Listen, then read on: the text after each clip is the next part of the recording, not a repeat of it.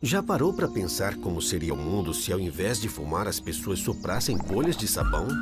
Conversas entediantes ficariam mais alegres. A ansiedade de esperar passaria em pouco tempo. Os momentos com os amigos teriam menos fumaça e mais risada. Você ganharia mais beijos e sorrisos. Soprar bolhas faria muito mais por você durante um segundo de gargalhadas do que um vício que satisfaz somente a você mesmo. Faça do mundo um lugar mais leve